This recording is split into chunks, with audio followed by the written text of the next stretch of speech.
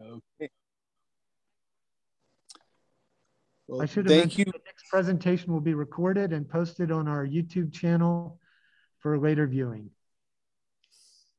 Go ahead, Nick. Okay, first of all, uh, thank you for inviting me to speak with you. It's been a long time since I've spoken to Audubon. I used to be much more active than I am now. Um, second of all, I would like to apologize for not being there in person. The plan was for me to be there in person, but uh, just a couple, a few weeks ago, I, I, I uh, was tasked to do some CDC work in New Jersey. So I'm, I'm actually calling in from New Jersey. Uh, okay, so I'm talking to you tonight about fall migration birding because it's fall migration time and, and we love birding. I love birding. So it's one of my favorite topics, actually. Okay, next slide, John.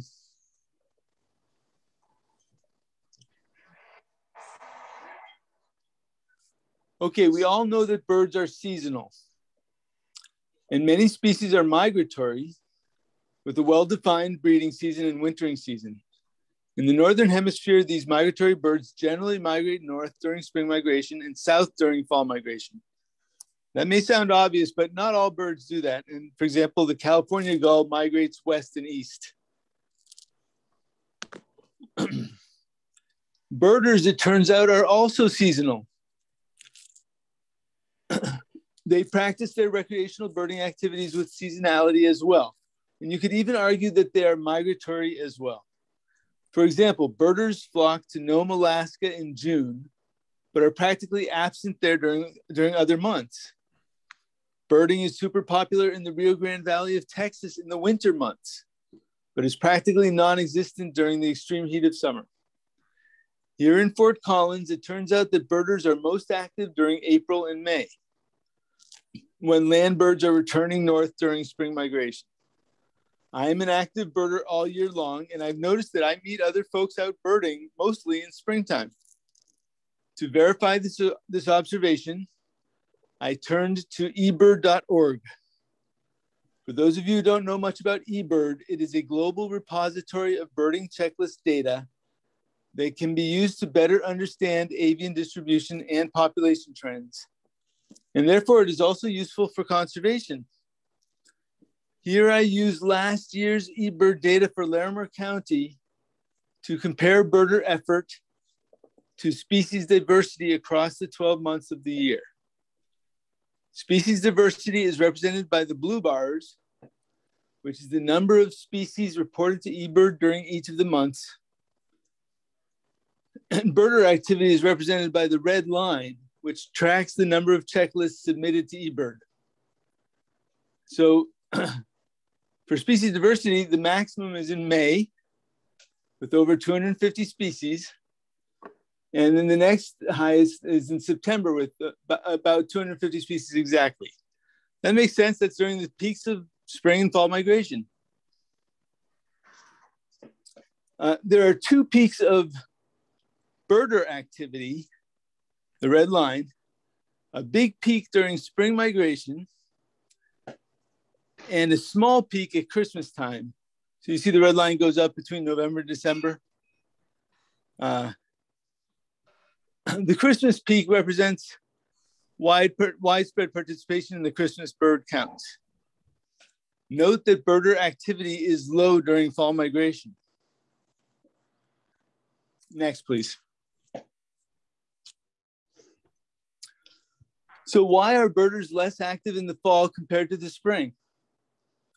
I don't think there's a simple answer to this question. More likely, there are multiple factors at play. One of these is that birds are less obvious in the fall.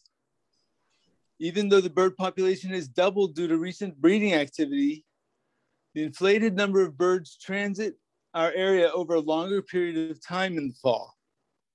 So the rate of migration, uh, in other words, the number of birds coming through our area is probably about the same during spring and fall on any one day.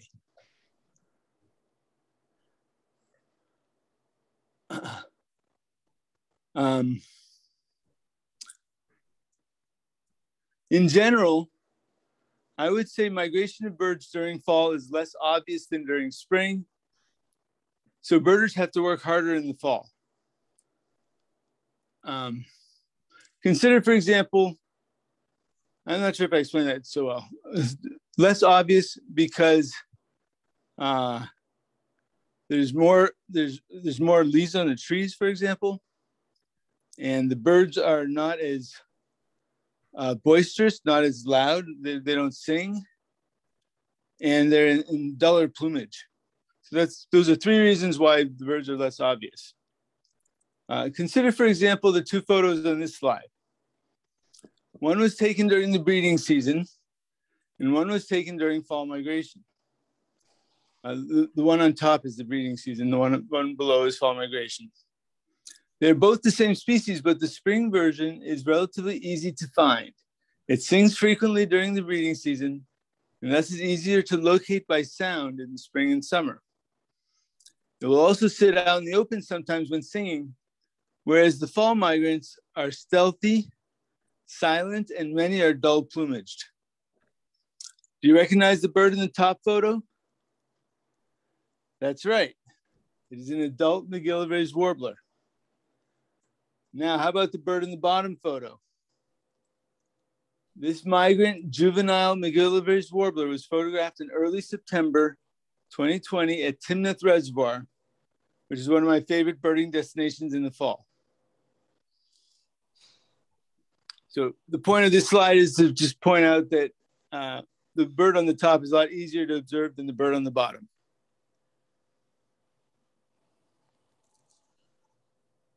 Okay, I mentioned eBird earlier. Here's another data download from ebird.org.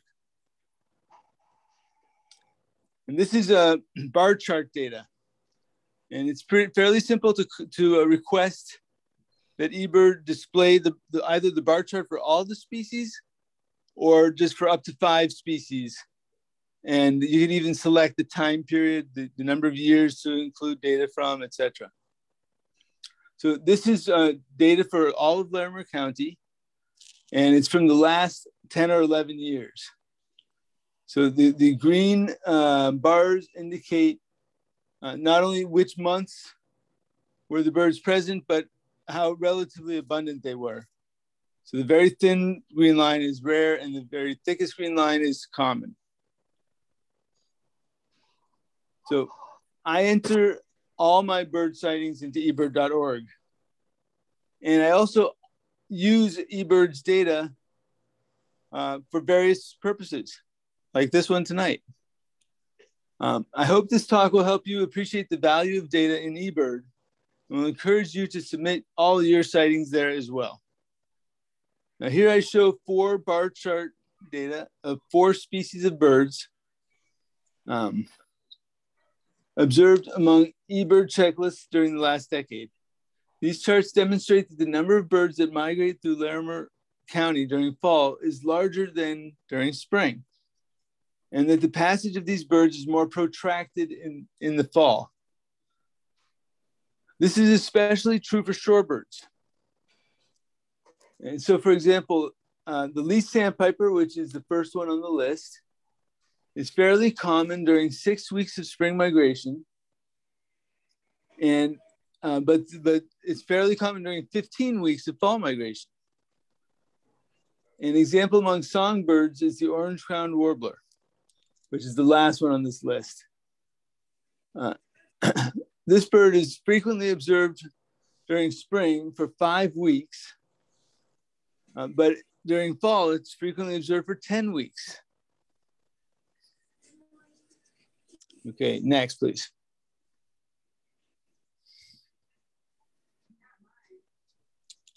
Okay, here's another type of data that I, I downloaded from eBird, from the bar chart uh, data. You can also look at it as a, as a line graph. Uh, so here's another view of the data. This view, we can also better appreciate the timing of migration of the orange crowned warbler. Spring migration spans from April 15th to June 15th, while we can determine that fall migration through Larimer County begins as early as July 15th and finalizes during the first week of November. I'm guessing few of you have thought, would have thought that fall migration starts so early for this species. That may be in part because birders are less active in the fall, so we are not quite as aware of fall birding trends. Have any of you ever seen a migrating orange crowned warbler in July? You don't have to answer that question, just think about it. I don't think I ever have, but but the data show here that the frequency does start to increase in the fall as early as July 15th. If you have seen one that you believe was a migrant during July or August, early August, go ahead and, and uh, tell us where and when in the chat, if you don't mind.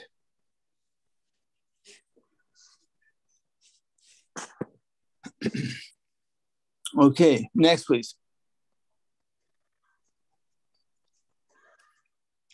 Okay, so here's another shorebird, the Baird sandpiper, for which the eBird data clearly shows more birds migrating through Larimer County in the fall compared to the spring. So here it's not just a question of more time that it's common, uh, commonly seen, but also more birds. Anybody who's been out to uh, a shoreline and a big reservoir can tell you that there's many more Baird sandpipers seen in fall than, than you would ever see in the spring. Um, not only is fall, uh, okay, here again, fall migration begins early in the summer in early July and is mostly done by the first week of November. Most of the fall migrants are juveniles, which are told from adults by their buffy wash to the head and breast. And in the photo, the juveniles in the top photo, the adults in the bottom photo. notice that the juvenile is a little bit more buffy or yellowish around the breast and head than the adult is. Now, my friend uh, Walter Wetchy told me that the name for Baird sandpiper in Swedish is actually yellow-breasted sandpiper. It all makes sense now. Note also that the long wings that extend beyond. Note also the long wings that extend beyond the tail in the in the uh, bear in the Baird sandpiper. Uh, this is a feature that separates them from other peeps, uh, other small sandpipers or peeps like least sandpiper, semi-palmated sandpiper, and western sandpiper. Long wings often indicate long distance migrants, and indeed the Baird sandpiper that passes through Colorado during fall migration is on a stopover between the Arctic tundra breeding grounds and its wintering grounds in the southern cone of South America. Next, please.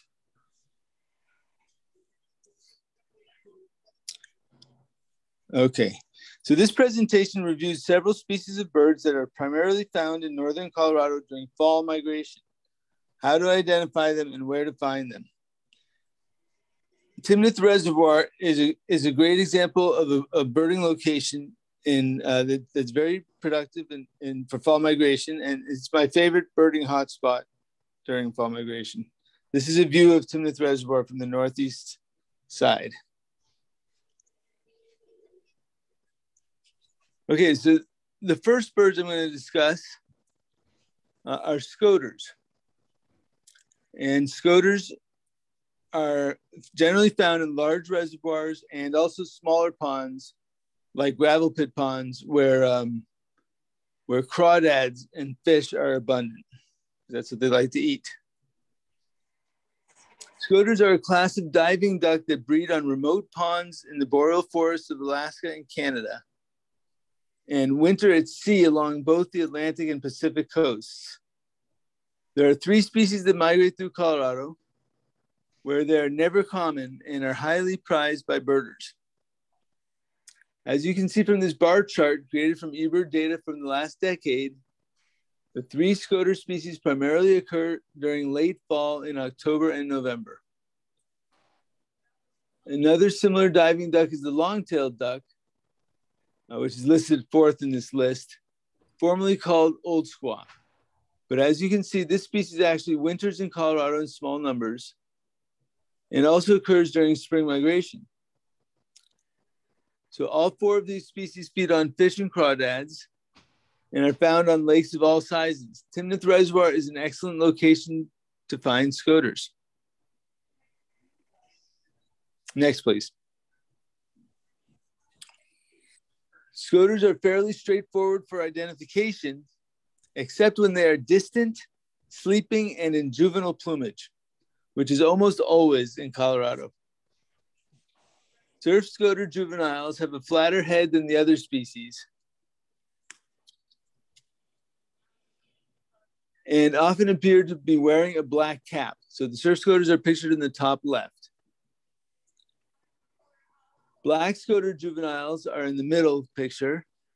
They look like adult female black scoters with a large pale patch on the side of their head, the sort of the lower face uh, that is um, much larger than the smaller patches found on other scoters, like the surf scoters. You can see the two small patches on the head, and the white wing scoter in the bottom right has two small patches on the head as well. This patch is one large patch. You turn 19 years of age. Uh, the bills and heads of of the um, black scoters are the smallest of all the scoters, appearing more like a typical dabbling duck such as gadwall or female redhead, which is which is also a diving duck, and much more common in Colorado.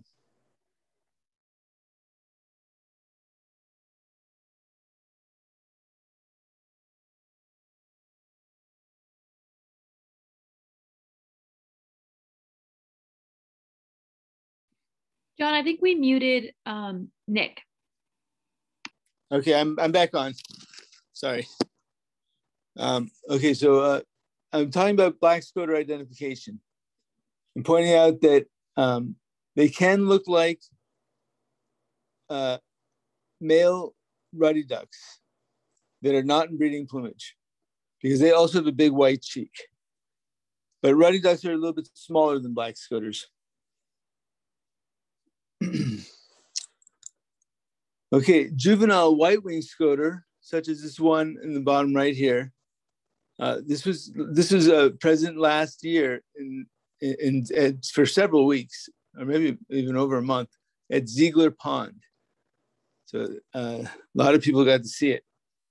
Uh, it was a rare case of when a white wing scoter is actually close to, you could actually approach quite close to, to a white wing scoter.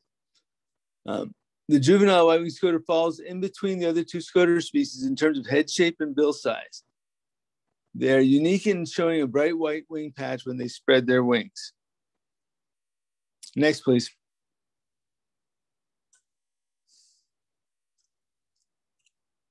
Okay, so here's our first pop quiz. What species of scoter are these?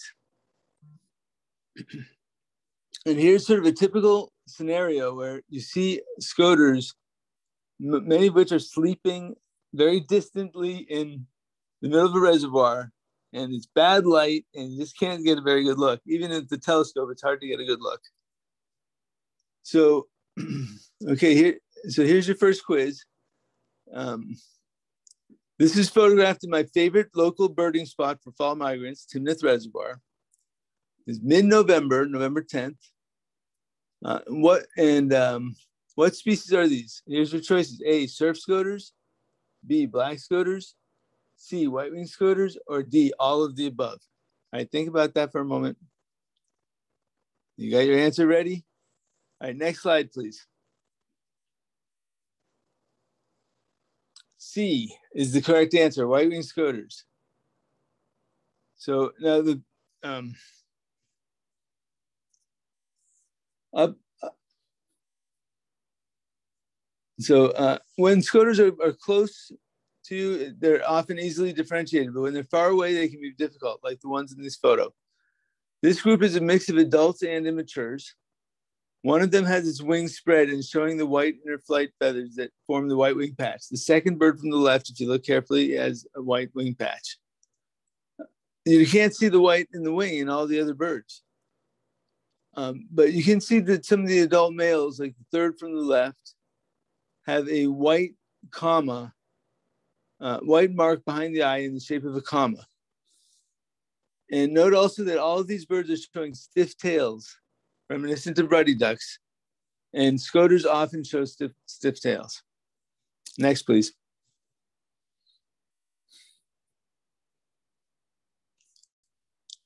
Okay. Next, we have the loons.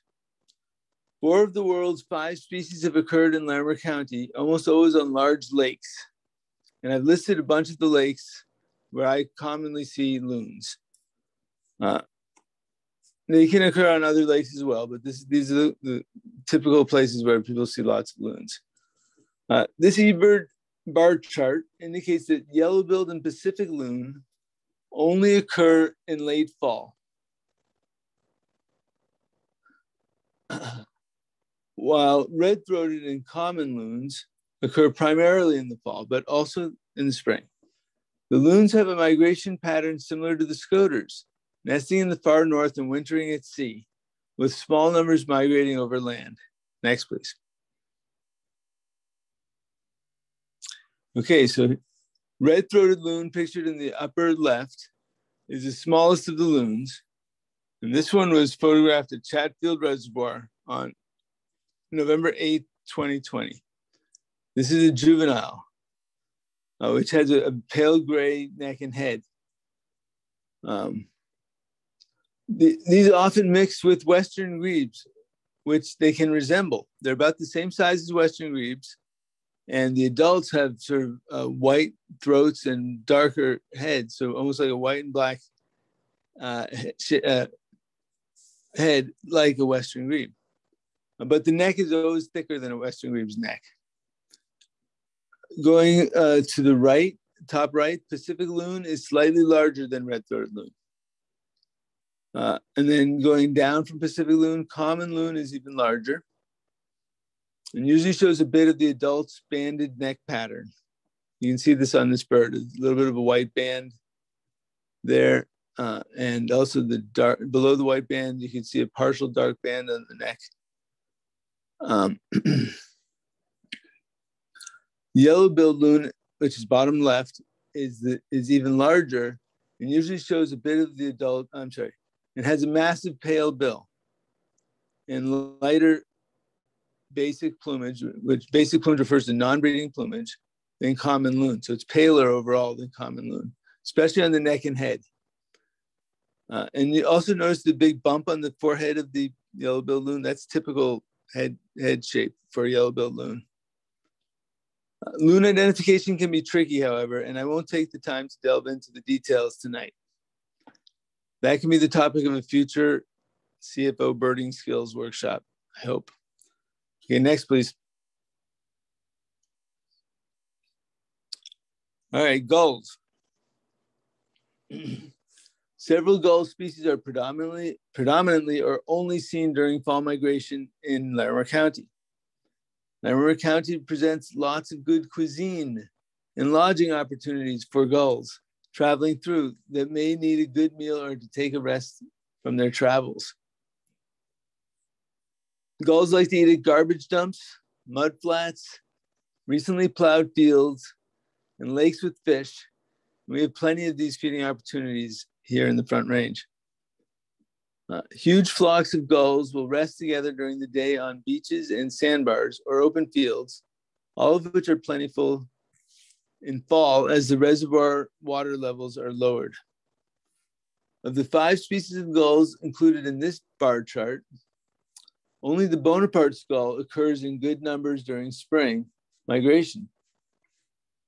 However, uh, the numbers of Bonaparte gull are even greater in the fall. You can kind of see that the, uh, the bar and the bar chart is thicker in the fall section compared to the spring section. However, um, um, uh, in, in addition, the, uh, the fall migration period is longer than the spring migration period for Bonaparte gull. Okay, next, please. Okay, so um, the other birds on the list include several, uh, actually the four of the five birds on the list are, are small gulls and uh, are quite tern-like long, thin wings, smaller size. And we'll go through each one of them. The top left is bone is black-legged kittiwake, and that was the um, rarest of the four. And I take back, it's not the rarest of four. Um, it's quite rare in Colorado. Little gull is rarer. Uh, black-legged kittiwake is a seafaring gull that nests on coastal cliffs across the northern hemisphere. Uh, globally, it is the most numerous of all the gull species, but a tiny percentage trickle across the interior of, interior of the continent during fall migration. Only a few are seen in Larimer County each decade, uh, mainly juveniles, which are distinguished uh, from the adults or from other birds by their strong black pattern of an M shape, uh, shaped in the letter of the shaped in in the form of a letter M on the wings, and also a very heavy black nuchal collar. So you can see the the uh, the, the black line is kind of like a, a, uh, a boomerang on one wing, but when when you consider you take both wings together, it looks like an M. Okay. Uh, the little gull below the black-legged kittiwake, and this, uh, let me mention that this black-legged kittiwake was a, a, nice Christmas present for many birders in northern Colorado. It was found on December 25th, 2000, was it 18 or uh, 2018? Okay, the little gull has only been seen once in, or it's only been um, there's only one accepted record for little gull in eBird in Larimer County, but there have been other reports. that just haven't been documented yet. Uh, and they're much more common in Weld County. So this is a species that could occur more frequently in Larimer if people are looking for it. Uh, they nest near Hudson Bay in Canada, and a few may wander. They, they normally winter around the Great Lakes, and it's probably this population that overshoots the Great Lakes and wanders to Colorado oh, every year almost during fall migration. They turn up at large reservoirs. I've seen little gulls over the years at Prewitt Reservoir, Chatfield Reservoir, Pueblo Reservoir, and I've seen one in Larimer at Horseshoe Lake. And others have been reported at Lake Loveland and Horsetooth Reservoir. Uh, so juveniles have a similar black M pattern on the wing, like kittiwake, and also like Bonaparte gull, but they also have a, a unique black cap. You can see the black cap on this bird, black cap on this bird, which I photographed this bird on September 3rd, 2016 at Chatfield Reservoir. Uh, okay, um, Sabine's gull is the next one on the list. And that's the lower right-hand corner here. So most Sabines gulls that migrate through Colorado are juveniles, which are, is, is, shown here in the upper right of the photograph in flight. But I, have also seen uh, second year birds like this one here. This one was photographed 16 October 2016 at Boyd Lake. And it's remarkable how similar this looks to Franklin's gull. And it usually hangs out with Franklin's gull too slightly smaller.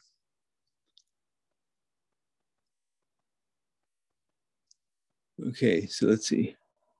Um, okay, now the Bonaparte gull. Uh, so Bonaparte's gull, by the way, is the only gull that normally nests in trees in the boreal forests of region of Canada. But hundreds migrate through Larimer County every fall. They're more common. And juveniles have a black M pattern on the wings, but not as bold as little gull or black-legged kittiwake. And because they've got a thin black line along the trailing edge, the M looks like it's underlined in black.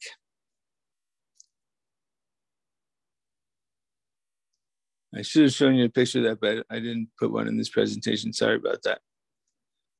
Okay, next, please. Okay, the last gull on that list was the short-billed gull, which is the new name for mew gull.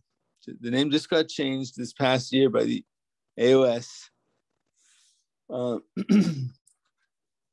this gull is very similar to ring-billed gull, our abundant year-round resident gull in Larimer County. As a result, short-billed gulls may be overlooked. It is considered a rare gull in Colorado. Uh, short-billed gulls lack the ring on the bill and is overall slightly smaller than ring-billed gull and slightly, slightly darker mantled. Juveniles, like the one shown here in the lower left, is more uniformly brown than juvenile ring-billed gull. So uh, it's also so this uh, this juvenile mew gull or short-billed gull looks a lot like, in my mind, a juvenile herring gull, all brown, brown below and above, but it's much much smaller. Okay, so uh, now you'll notice that some of these gulls, the date I put the dates on the on the pictures here. So the top top photo, the short-billed gulls on the left and the ring-billed gulls on the right, and see how much smaller the bill is and lacks the lacks the black ring around the bill. This picture was taken August 5th, and this short-billed gull is still in breeding plumage. But in winter plumage, they develop a lot more brown markings on the head. And the, the bird at the lower right, which is photographed November 4th at Lake Loveland 2017, has much more darker black, uh, brown, gray brown, smudgy markings on the head and neck which helps distinguish it from ring-billed gull, which is not that darkly marked.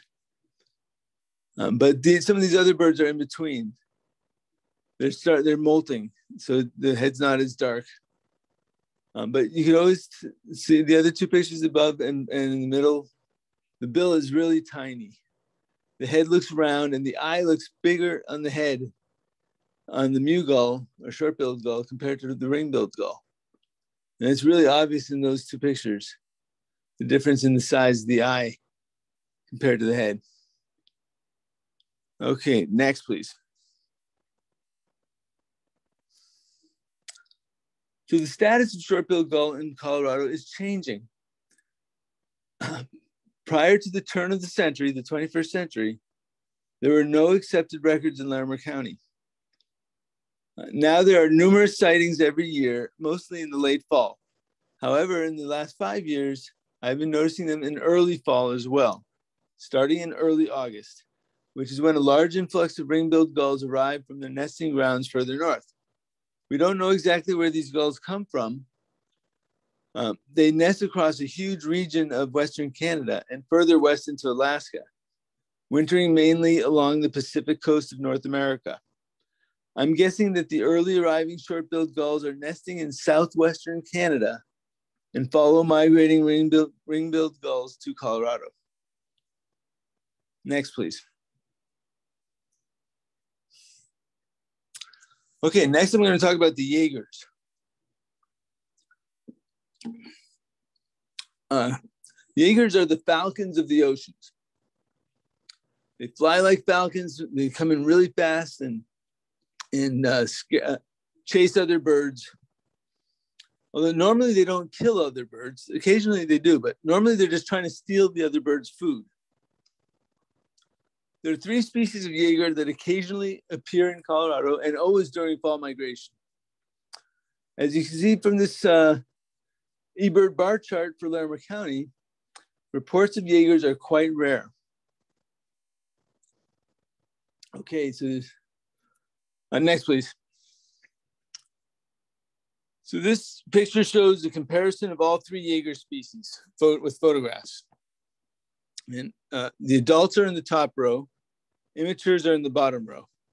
So we'll start with the long-tailed Jaeger. Top left. Uh, this is the earliest occurring species uh, and also the most common of the three.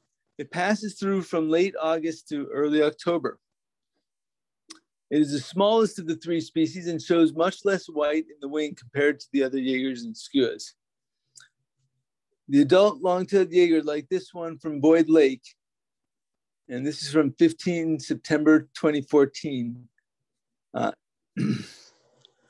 um, so adults showed no white under the wing at all, and that's unique to long-tailed Jaeger. The other two, two adults, two species, the adults do show a white flash under the wing. On the upper side of the wing, long-tailed Jaegers show very little white, very little white, limited to two or three of the outer primary feathers. Uh, parasitic Jaeger occurs slightly later in the fall, from September to early November, and is intermediate in size between the between long-tailed and Pomarine Jaeger. Unlike long-tailed Jaeger, it shows extensive white in the primaries, regardless of age, on both the underside and upper side of the outer primaries. Pomarine Jaeger on the upper right here. Uh, so I mentioned that parasitic Jaeger adult. Here's the, adult shown here was photographed at Warren Lake on October 14th, 2019. And these birds show up usually where, the, where gulls are because they're, they're usually chasing gulls to steal the food from gulls. Uh, okay, so let's see. Um, yeah, unlike, okay. Pomarine Jaeger is the rarest and latest of the three Jaeger species, occurring from October to December. This one was shown, this adult was uh, uh, photographed by Aaron Scheip at Chatfield Reservoir on 18 October 2016. So the adult Pomarine Jaeger had, had not only is it bigger, but it's got rounded central tail feathers. So uh, all three Jaeger adults have uh, longer central tail feathers that extend beyond the rest of the tail. Uh, the adult long-tailed, the tail is ridiculously long and it's obvious. Uh, the adult parasitic, it, it, can be several inches long, um, but it's, those are pointed feathers, and that's the key. Because Pomarine Jaeger, those central tail feathers that extend beyond the tail are rounded. Uh, it can be hard to see, but uh, if you look at your photographs, you might might be able to see it. okay. So, uh, Pomarine, it, it, it's Pomarine, Pomarine is the largest of the three. It sometimes shows a double white patch on the underside of the outer wing. You can see that in this picture by Paul Hurtado from Chatfield Reservoir in 28 November 2011. You see how there's a, a, big white flash on the base of the primaries, and then just above that on the base of the primary coverts, there's another white flash. So there's a double double band on the bottom of the wing. You don't see that as it's not obvious on on the parasitic Jaeger. But I, I got to say that Pomarine and parasitic Jaegers are very difficult to distinguish. Pomarine's bigger, but not by much. Uh, one trick I use uh, to separate parasitic from Pomarine Jaeger is comparing the wing length to the wing length of ring-billed gull, which is a species it's usually chasing. Parasitic Jaeger's wingspan is shorter than ring-billed gulls wingspan, whereas Pomarine Jaeger's wingspan is longer. So next, please. Okay, so here's a photograph by Steve Mlodinow, taken October 6, 2018, at Lagerman Reservoir in Boulder County. And so we got ring-billed gull on the left, parasitic Jaeger on the right. I can tell it's a parasitic because the central tail feathers are pointed. They extend beyond the other tail feathers and they're pointed. And if you look at the wing length, uh, you can see it's hard to tell, but it's slightly shorter than the ring-billed gull. So in many cases, you might not see the central tail feathers because juveniles they're not fully grown, or you might be might might be molting them, or they're just too far away. But you can see the, the length of the wing compared to the length of the wing of the ring-billed gull uh, when they're in the same position.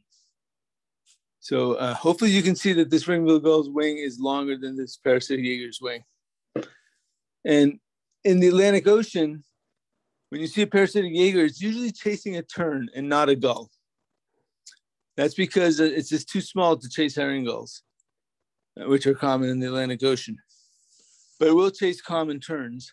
And here in Colorado, they chase ring-billed gulls. Okay, so next, please. Okay, so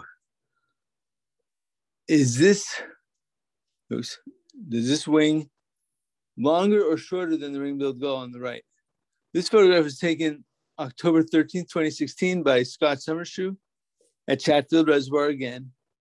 And here I can see that this wing is longer than the ring-billed gull's wing.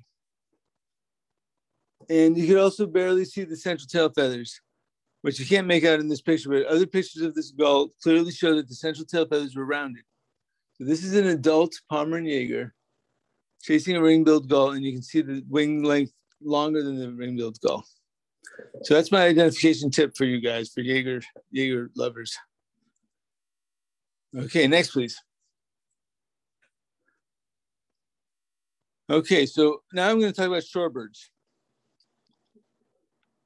There are several species, almost all the shorebird species occur predominantly during fall migration compared to spring migration, especially uh, at large reservoirs with exposed mud flats. Timnath Reservoir and Fossil Creek Reservoir have hosted excellent fall shorebirds in recent years. This eBird bar chart shows some obvious examples from Larimer County uh, in terms of fall occurring birds. The American golden plover, red knot, and buff-breasted sandpiper only occur during fall and are quite rare. Uh, stilt, sandpiper and pectoral sandpipers occur mainly during fall and are much more common. Okay, next, please. Okay, this, the photo on the top left shows a pair of red knots in basic uh, plumage, which basic means non-breeding plumage. So in breeding plumage, they're sort of orangey colored on the on the breast, like a dowitcher. In fall, they're just dull gray. Uh, but they're quite beefy birds, stocky, about the size of killdeer, but stockier than killdeer, and they've got thick black legs and thick black short bill. Um, I've seen red knot at Fossil Creek Reservoir and also at Timnath Reservoir, but only two in the, in my 24 years of of, um, of birding in in northern Colorado, or in Larimer County, I should say. Okay, so the top right is another beefy, stocky bird about the size of a killdeer, so about the same size as knot. This is um, pectoral sandpiper. And uh, I've heard some people describe pectoral sandpiper as the least sandpiper on steroids. It, it, the plumage looks like least sandpiper. It's very reddy, reddish brown above. It's got the streaked chest. It's got yellowish legs and a droopy bill. So not dissimilar from a least sandpiper, but much larger.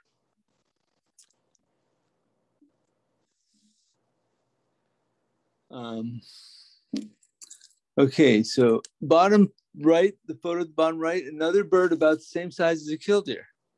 This is a stilt sandpiper and it's a juvenile, which aren't very, uh, the, the plumage is not very, nothing stands out about their plumage.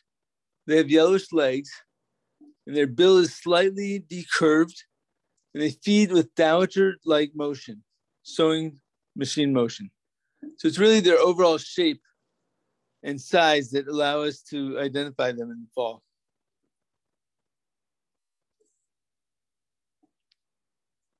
Okay.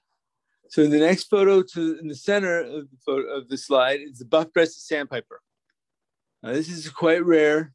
It's only occurred four or five times in Larimer County uh, in recent history. In fact, the first one was I think five years ago. Uh, almost always at Timnath Reservoir. I think O is actually a Timnath Reservoir. Um, this bird's about killdeer size and it's got uh, longish yellow legs. Uh, okay, this bird, I photographed this bird a couple weeks ago at Prewitt Reservoir. It behaves like a plover, uh, kind of like a robin. It sort of runs, looks around, runs again, looks around. And it's got that round head like a plover also, and short bill like a plover. Uh, it can actually be confused with Baird sandpiper, which sometimes has a yellowish breast. Remember, it's called yellow-breasted sandpiper? But the legs are longer. And Baird sandpiper has black legs, not yellow legs. Okay, the two dowitchers on the left, I didn't mention this in the bar chart, but this is another species uh, short-billed dowitcher and long-billed dowitcher, they both occur more frequently in the fall. Short-billed dowitcher is a rare, rare shorebird, um, but it, it's been seen recently at, at um, Timnath Reservoir, and I took this, this the photo of the, these two juveniles at Prewitt Reservoir. And so they can be distinguished from long-billed dowitchers by the orange wash on the breast, because juvenile long-billed dowitchers are just gray-breasted, and the extensive buff edges on the upper side of the, the upper wings. Uh, buff edges and also buffy internal markings in, in those feathers on the upper wings, which are called the scapular feathers. They cover the wing. So uh, long-billed dowitcher has black centers of those feathers. And the, the feathers that go over the tail, those are called the tertial feathers. And they also have the buffy internal markings, whereas a juvenile long-billed dowitcher just has a dull gray feather there. So uh, this is the uh, prairie form of the short-billed dowitcher. Okay. All right, next, please. All right, I mentioned uh, American golden plover. It's quite similar to black belly plover, and juveniles can be difficult to distinguish. So here's a photograph of a juvenile American golden plover that I took at Lone Tree Reservoir in Loveland several Octobers ago. Unfortunately, there's no access at Lone Tree Reservoir anymore, but that year it was a great year for shorebirds. The, the water was down and there was good shoreline. Uh, now, in the flight shot on the right is the same bird flying next to a juvenile black-bellied plover. And you can see the black-bellied plover is paler overall, not as buffy on the underparts, slightly longer billed than the golden plover. The underside of the wing has a black armpit in the black-bellied plover, but that's missing in the golden plover. And the black-bellied plover has a white tail, and the golden plover does not. It's just uniformly brown above. Okay, next. So now we can move away from the large lakes and talk about some land birds. Uh, hummingbird species, several species migrate through northern Colorado headed south, but not headed north. Uh, so they occur in fall migration, but not spring. these would include ruby-throated hummingbird, which is rare, but regular during the month of September. Calliope hummingbird, which occurs from July to mid-September and rufous hummingbird, which, which uh, occurs from late June to late September. Calliope hummingbird and rufous hummingbird are not uncommon. I mean, they're not rare. They can be uncommon. Uh, uh, and I included black-chinned hummingbird in this list just for comparison. Uh, it has a different yet interesting story unto itself. 20 years ago, black-chinned hummingbirds were absent from northern Colorado, and now they are a permanent and common part of our avifauna, having extended its range northward similar to the bush tit.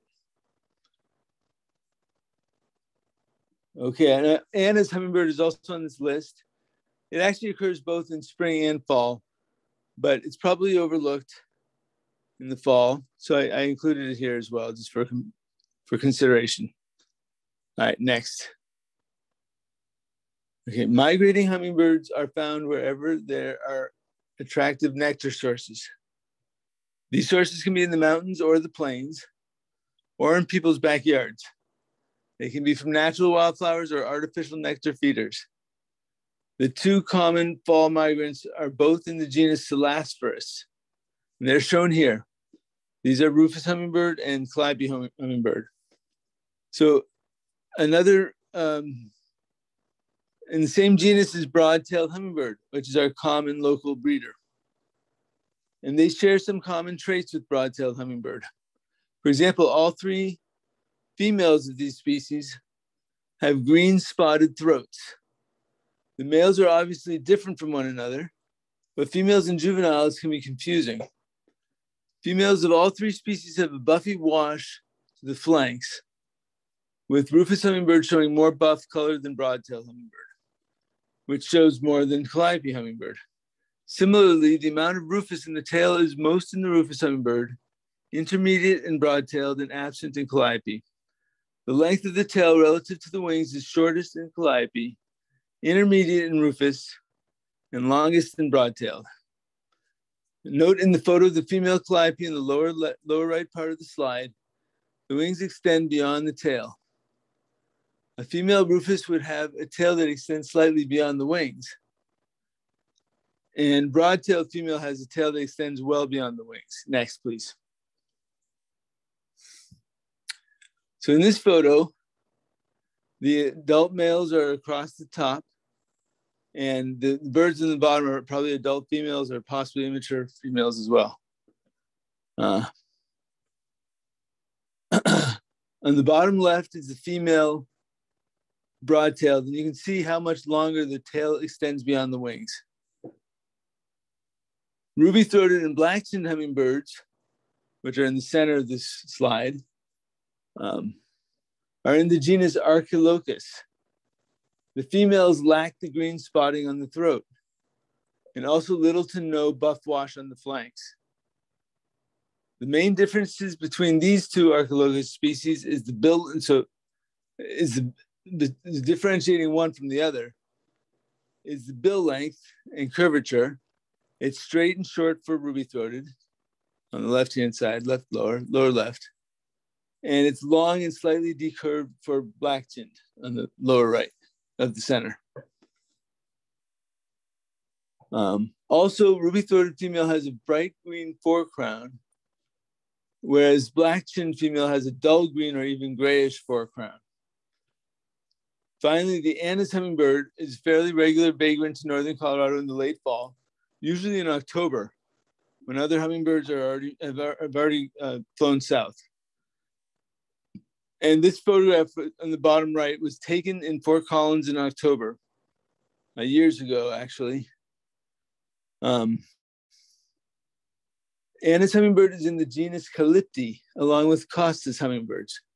Aside from males having iridescent feathers extending from the throat to the crown in the Calypte hummingbirds, these birds differ from our local Archilochus and Selasphorus hummingbirds in the shape of the flight feathers but you need really good photos or a bird in the hand to appreciate those differences.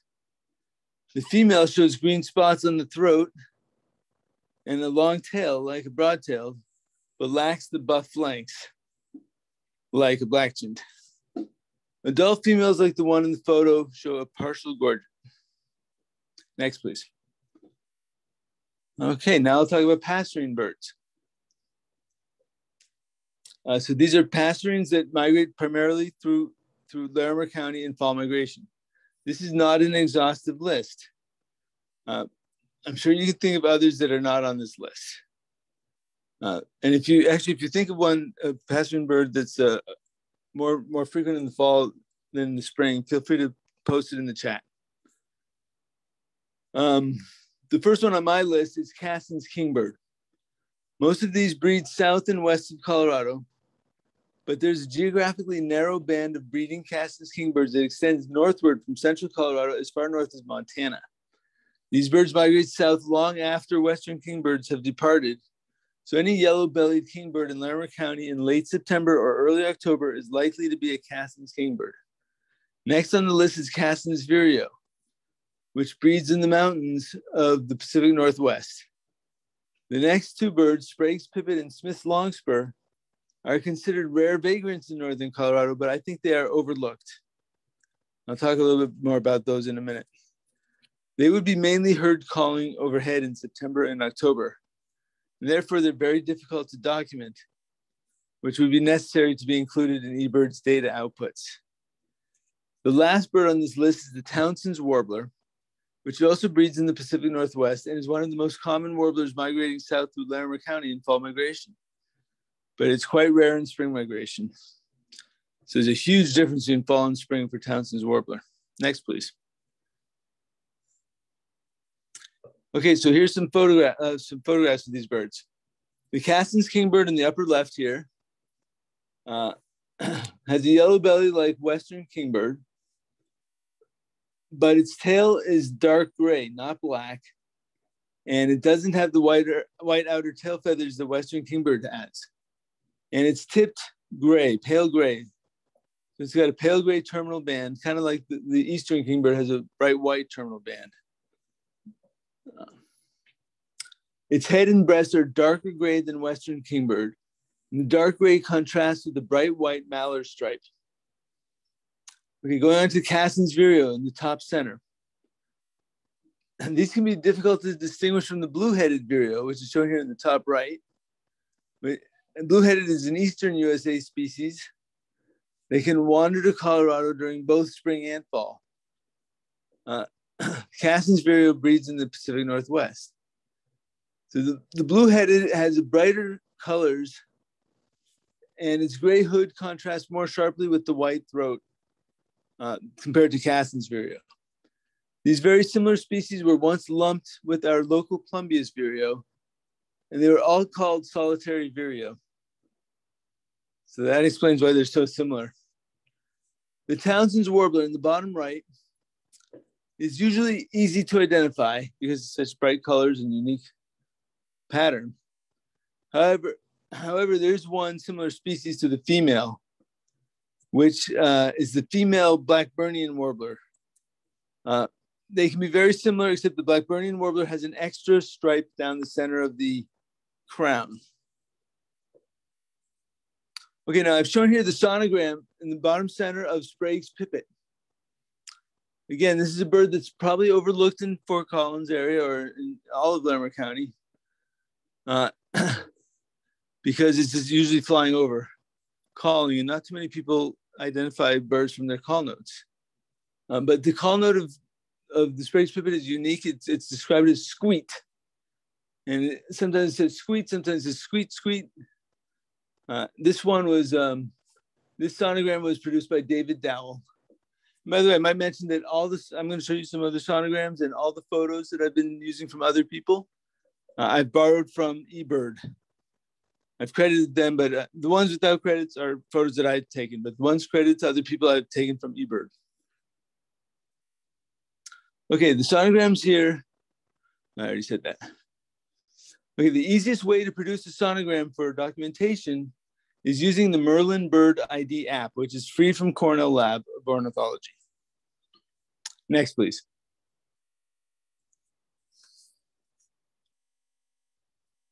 Next, please. John.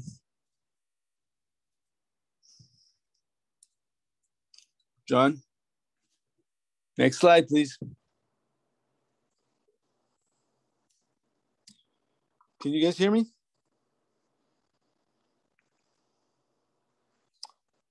John?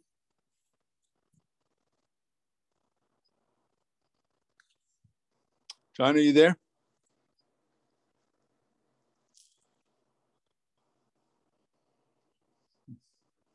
I'm waiting for John to show the next slide. Hmm. All right. Oh, good. I'm glad you can hear. I wonder if John Chanot can hear. Looks like he dropped off. I wonder if he lost the connection. Hmm. Well, let's wait for him to come back on. Yeah. And uh, this, there's only a couple more slides.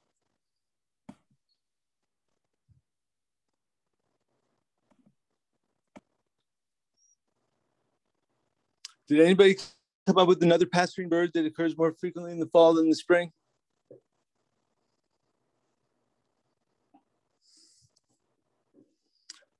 One group of birds I didn't talk about are, are the sparrows.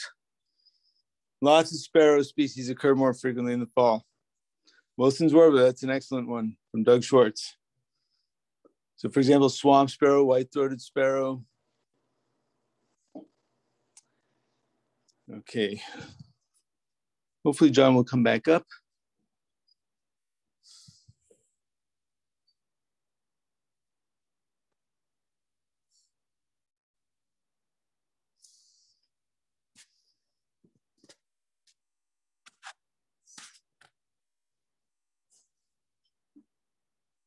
Once we see the slides, we'll know he's back up.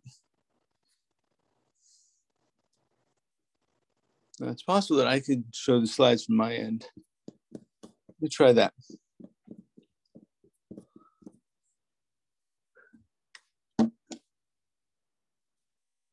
Hold on a moment, folks.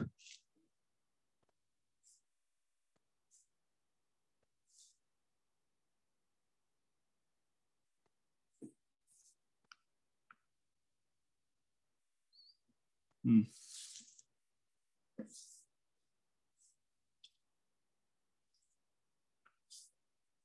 We're having technical difficulties.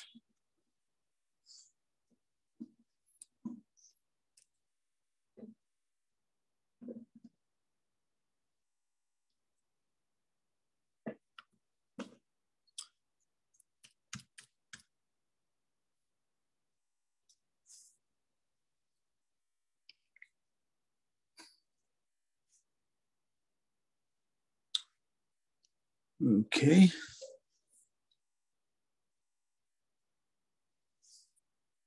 Should be able to get this up in just a minute here. Okay, Nick, we are back in business. My Oh, good. apologies for that. And I missed you. I'll resume your presentation.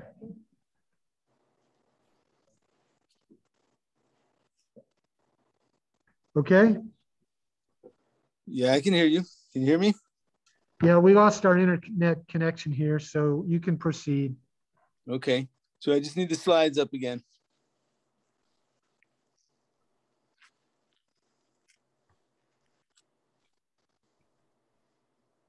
I see. That would help. Apologies, everybody.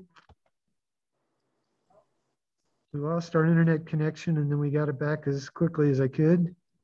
There you go, slideshow. Yep. Okay, thanks for your patience, Nick. My pleasure. Okay, here we go. So I was talking about um, uh, you can you can an easy way to make sonograms like this one is using the Merlin Bird ID app from Cornell University. All right. So next next slide, please. Okay, so now I want to talk. I mentioned Smith Longspur. So here's now you need to uh, in order to identify Smith Longspurs in Larimer County, I think you need to know their flight call. Because most that's mostly the way they're observed. You rarely get to see one. Uh, but their flight calls are unique. And I've shown all the Longspur flight calls here because all the Longspurs actually occur during fall migration. And even snow bunting can occur during fall migration, and snow bunting sounds like a long spur. So the top, the upper left one is thick-billed longspur, which is the new name for McCown's longspur. And then below that is Lapland longspur. And they both have three or four no calls, very similar, but their sonograms are different. So another reason to make sonograms is to is to be able to identify birds that sound similar but have different sonograms, different patterns. Uh, the snow bunting is similar also, but looks slightly different on the sonogram. It's off to the right. The chestnut collared longspur on the upper right has a totally different form of, instead of a dry rattle, it's what I call a liquid rattle. And it looks totally different on the sonogram. Sounds different to me too. Now the bottom left is the Smith's longspur. It's a dry rattle, but it's it's very staccato and uh, it's longer. It's got uh, something like 10 notes in it. And it's kind of similar to the rattle call of the female brown-headed cowbird, which is shown on the right. Some of you may be familiar with that call. So I've heard this uh, rattle a couple of times in Larimer, and it's very, um, very unique. Um, but, and of course, eBird, in order to accept it, has to, has because it's rare, uh, requires documentation. So if you can make a, a, um, a sonogram, that would be ideal. Okay. Um, so I believe this Smith longspurs migrate regularly over the Front Range of Colorado, but uh, are are not described as such. In other words, commonly, they're not described as being common or, or uncommon, because very few observers are able to recognize and document it. Okay, next, please. Okay, so now I'll just review my, some conclusions. Uh, we've got the first one. Fall migration provides many bird identification challenges in northern Colorado.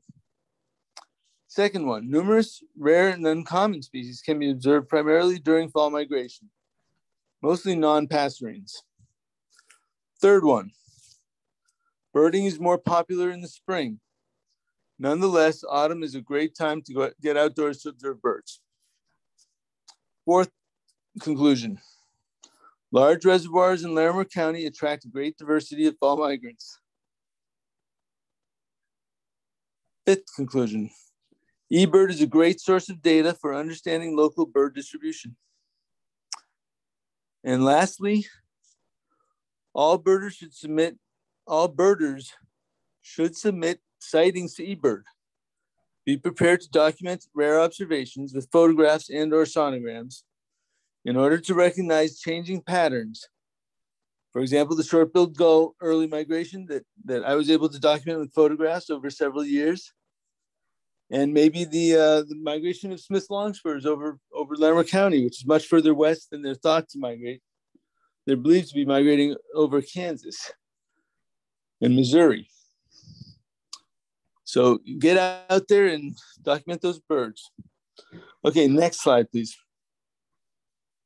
And with that, I can take some questions or, or host some discussion. I might mention that I'm going to be leading one of those upcoming field trips for Fort Collins Audubon during fall migration on October 24th. Uh, we're going to be visiting uh, Larimer, large lakes in Larimer County. And so uh, I hope bunch, I hope 10 of you sign up for that trip. Okay. Oh, thank you, Nick. Thank you so much. Um, yes, greatly appreciated. Um, I'm sure people want to ask questions. We have a small enough group that what I'm going to do is invite people who are using Zoom to unmute their own line and ask a question. And if it gets unmanageable because there's too many people talking at once, then we'll use the chat window. Um, but let's try letting people actually speak up. Um, here in the room, if you want to ask a question, raise your hand and I'll, I'll get to you during gaps in the other questions. So the floor is open for questions for Nick.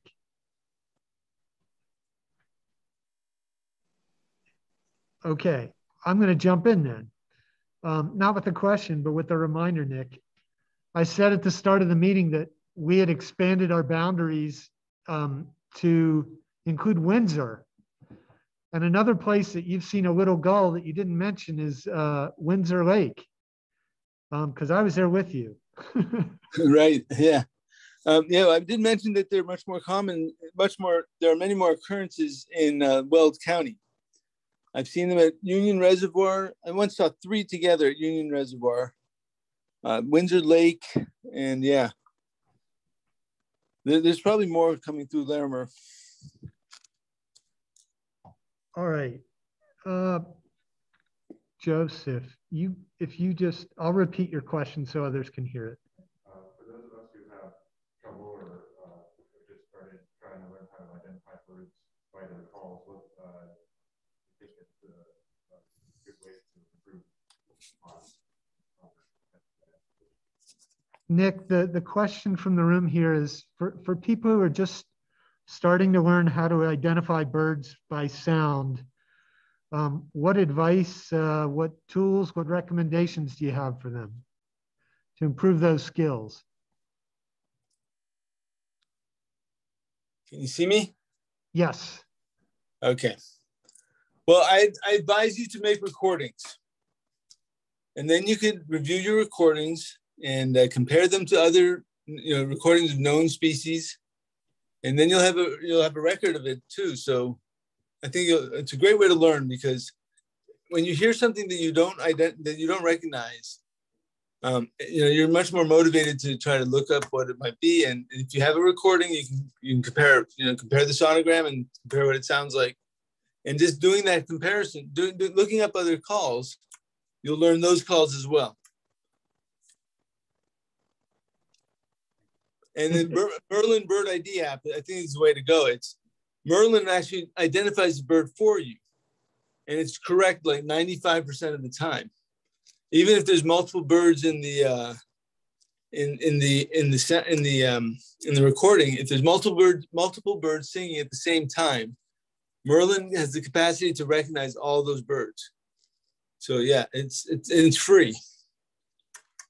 Highly recommend it.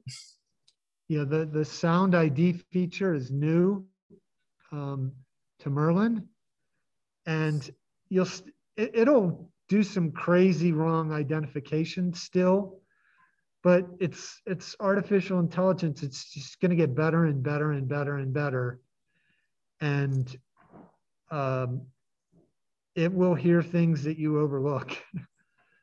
um, Yeah, but you know- I don't consider it birding if you're just holding up a phone and then write down what what the phone heard. But what it will do, Joseph, is is, is help you build those skills for identification. Because right as the bird's singing, it'll put up lazuli bunting.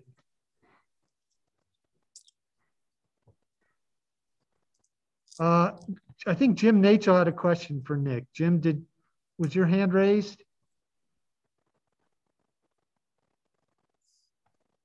You want to unmute yourself?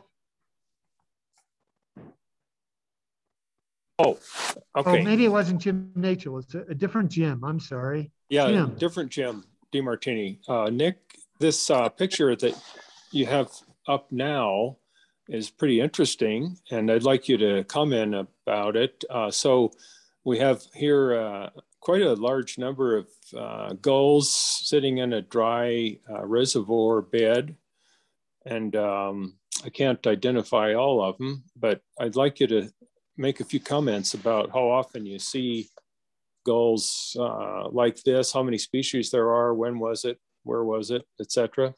comment. For one thing, this is not a reservoir. This is actually the Larimer County landfill. This is the top of the landfill, above the area where they're dumping the trash. This picture was taken in July of this year, and uh, a remarkable number of gulls for that time. It's, gulls love it here in around Fort Collins and Loveland, and as soon as they're done nesting, they come back in the middle of July, even juveniles from far away, and start, you know, hanging out around their, their usual hangouts. There are three species of gull in this photograph.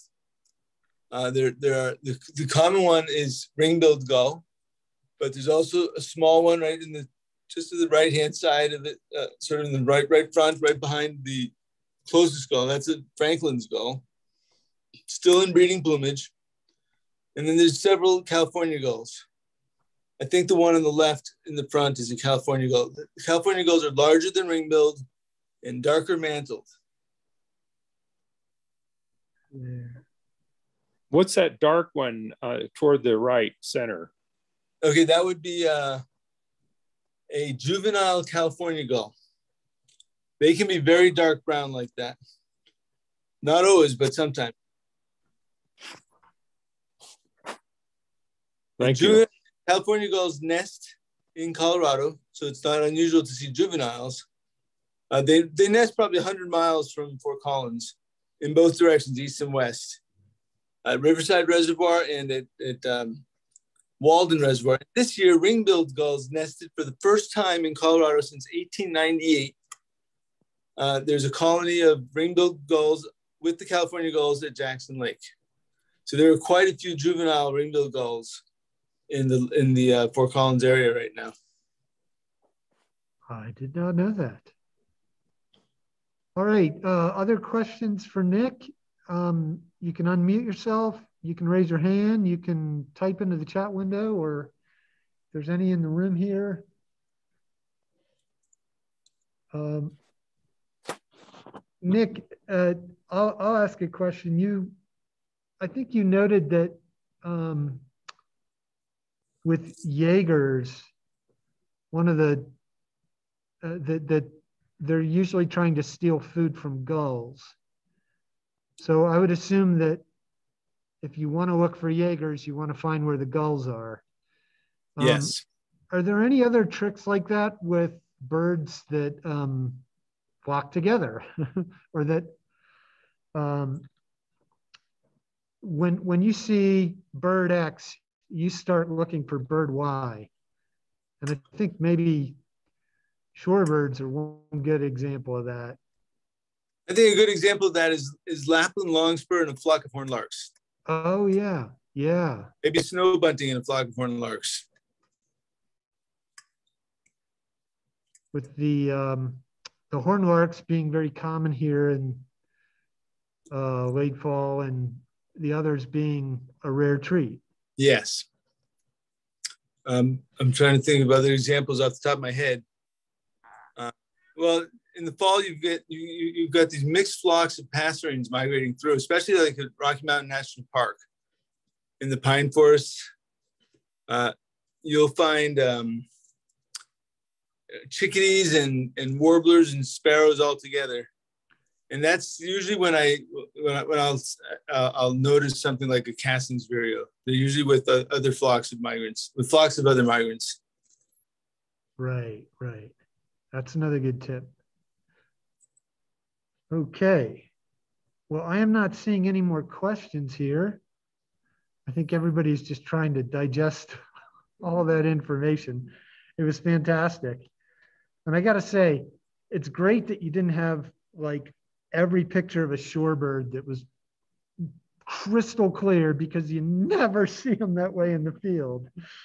And it's actually better for learning to get a realistic look at one in a photo. Um, I wanted to uh, let people know uh, about next month's program before we sign off here.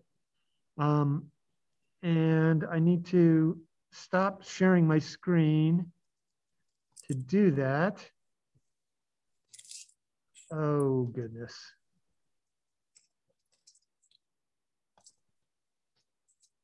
Here we go. And believe me, I've learned some lessons today, and I will be uh, improving on this next month. Um, so next month, we'll be meeting again the second Thursday. Um, that's October 14th. And our speaker will be Kelsey Holloway from Bird Conservancy the Rockies. The title of the presentation is It's About Dam Time Beavers are valuable ecosystem engineers. So we're going to have a great talk next month about beavers and about Kelsey's studies of them on the South Platte River. Um, that's October 14th. We hope you can join us again next month. And I'm sure everybody joins me in, in thanking Nick for his uh, presentation. I thank you for bearing with me through the technical challenges and promise to do better next month. Um, I hope everybody enjoyed it and I hope we see you again next month. Enjoy the rest of your evening and thank you.